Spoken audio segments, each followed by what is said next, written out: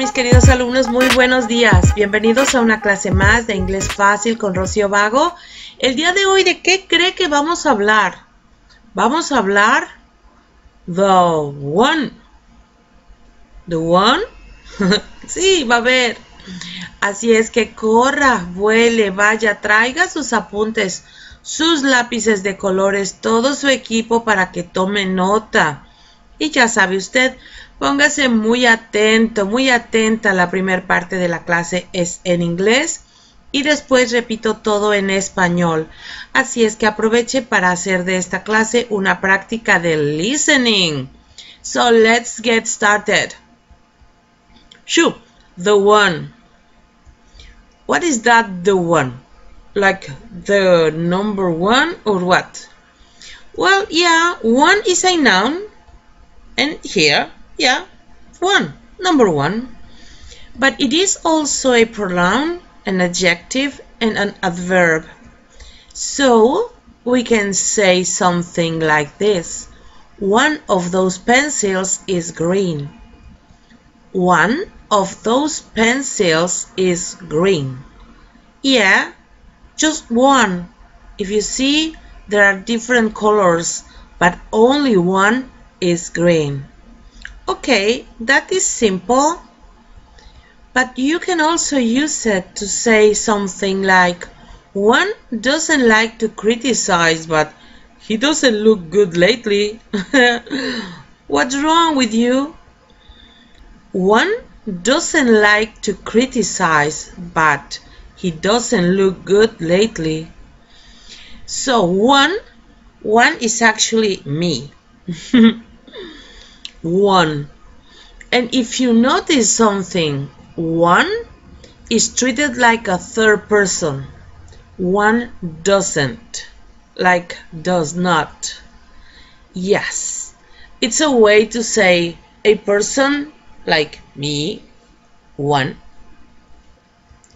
And for more simple sentences like I need only one onion to make this dish. I need only one onion to make this dish. So, one onion, not three, just one. Or something like this is the one I'm going to buy. This is the one I'm going to buy. So no other, just this. This is the one. Or she is the one I was telling you. She is the one I was telling you. It's not like uh, she is one and another is another. There are three. No, only her. She is the one. The one what? The one I was telling you. She has a pretty pinky bike. But one, it's also part of expressions like taran, the one. Here is an expression, the one, not only one, but the one. Oh, okay, I got it. So, yes, he is the one. The one what? The one. Oh, but it's also something like, oh, oh, oh man, oh no. Okay, well, he is the one who's going to fix my car. He is the one who is going to fix my car. I'm getting nervous about his procedures. he seems to be a little bit rude. But okay, well, he is the one. Yeah. Oh my goodness, okay. A hard one. This expression means a difficult person or cat. well, it could be not just a person. This cat is a hard one. He's so bad tempered. Oh, so this cat is a hard one. It's hard to deal with him. He's so bad tempered. So it's a difficult person. and how about in one piece? It's like safe. Fortunately, he came home in one piece. boom. Fortunately, he came home in one piece. Dear Lord, that was scary. Okay, but he came home in one piece, safe. And for one thing, what is that? So the first reason, first of all, no, you can go for one thing. You haven't finished your homework. No, you can go for one thing. You haven't finished your homework. Young man, no, no, no. So, for this reason, first of all, good one. That's like a good joke. Oh, that was good. That was a very good one. That was a very good one. Hmm. I've heard so many, but this, this was a good one. So, got it? Es, no es complicado, es cuestión de no complicarnos en realidad. Es todo lo contrario. Espero que haya entendido bien y si no, procedamos a la parte de español. So, let's switch to Spanish. Boom, the one. ¿Qué viene siendo eso? El uno. Por cierto, también se usa. no lo puse en la clase. Ok, ya. One is a noun. Sí, por supuesto. Uno. Pero también es un pronombre, un adjetivo y un adverbio. De tal forma que lo podemos usar como One of those pencils is green. One of those pencils is green. Uno de esos lápices es verde. Aquí nos referimos a uno, pero no estamos diciendo uno, dos, tres, cuatro. No, uno de ellos es verde. También se puede usar como one doesn't like to criticize, but he doesn't look. No, me trabé. One doesn't like to criticize, but he doesn't look good lately. Look good. Ok. Uno, a uno no le gusta criticar, criticar. Válgame Dios. A uno no le gusta criticar, pero él no se ve muy bien últimamente. No, mire nada más. No, no es crítica, francamente. Esta es una honesta y sincera observación. Pero el punto aquí es uno. Tampoco es uno de número uno, sino uno de yo. a uno no le gusta criticar. ¿A quién se refiere uno? Pues regularmente a quien habla y es como no muy exacto.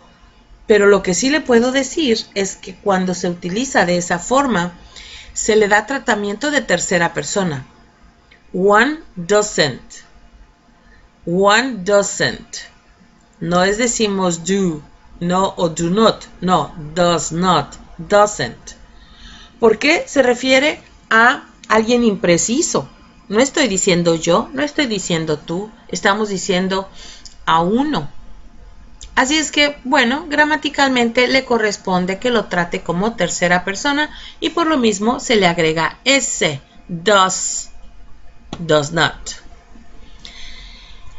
En frases más sencillitas como I need only one onion to make this dish. I need only one onion to make this dish. Necesito solo una cebolla para preparar este plato. Platillo. Sí, una, pero no es uno de uno, dos, tres. Una vez más, es una, una cebolla. O, that is the one I'm going to buy. That is the one I'm going to buy.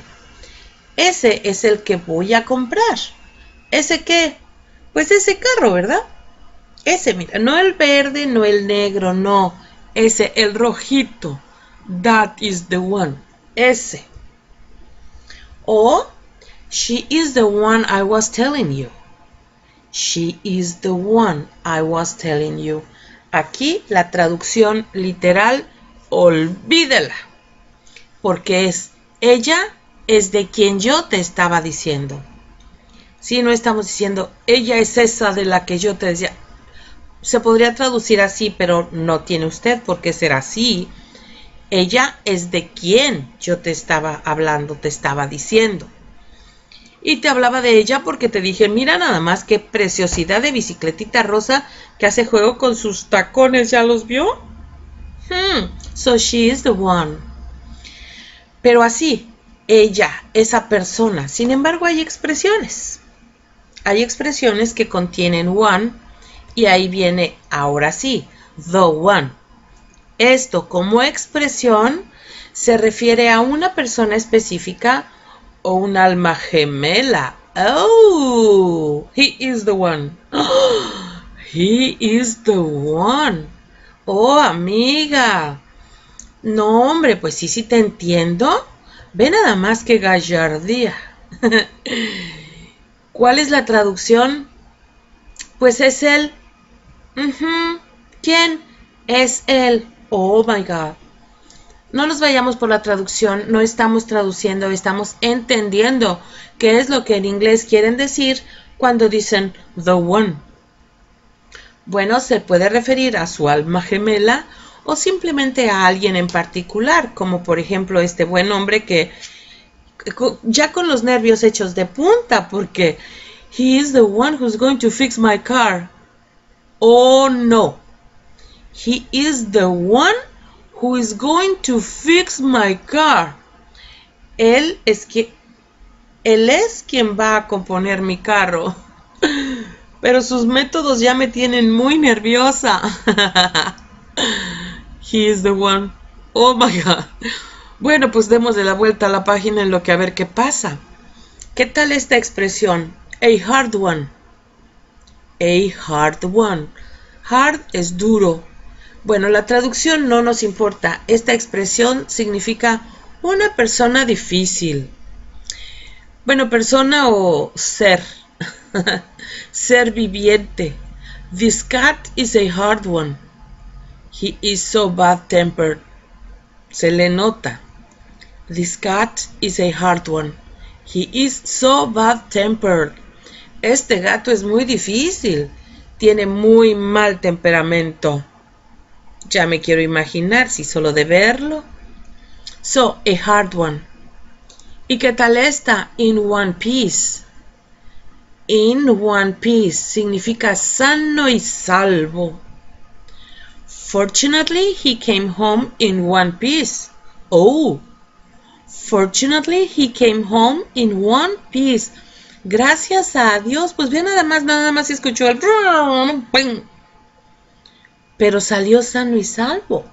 Llegó a casa, afortunadamente llegó a casa sano y salvo. Con una ala del avión bajo la manga, pero llegó vivo. So, in one piece. For one thing. En primer lugar. No, you can go for one thing. You haven't finished your homework y ve el dedito del Señor. Se ve borroso, pero me pudo encantar. Porque el Señor dice, no, que no, que no, que no. No, you can't go for one thing. You haven't finished your homework. No, no puedes ir. En primer lugar, porque ni siquiera has terminado tu tarea. ¿Qué te pasa, condenado muchacho? For one thing. En primer lugar. Por una simple y sencilla razón esas serían las traducciones. Usted solo interiorícelo. ¿Eh? ¿Qué tal la palabra? Good one. Good one se refieren a ese fue un buen chiste. Y a buena broma. That was a very good one. That was a very good one. Oh, ese sí que estuvo buenísimo. Ese que, ese chiste.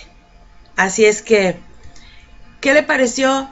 Es corta, es corta, no es muy larga, pero ya sabe usted, estos no son videos. Anótelas, estúdielas.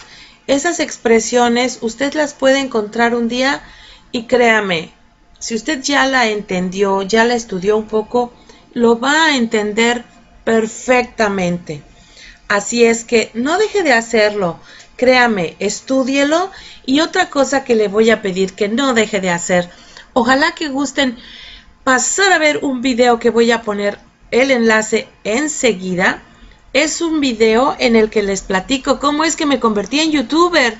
Y bueno, he abierto, ustedes saben, otro canal en donde alguna receta, algunos tips, alguna charla allí voy a empezar a realizar todos mis videos en vivo porque acá en este canal eh, hay veces que no, no son del agrado popular. Así es que los que deseen suscribirse en el canal nuevo, les voy a poner un enlace porque además pretendo ahora sí realizar alguna que otra clase como por ejemplo de Excel, Word, presentaciones PowerPoint, qué sé yo, cosas de ese tipo que también nos hace falta saber, pero las voy a incluir en aquel otro canal que se llama Rocio Vago y del cual pondré el enlace al final.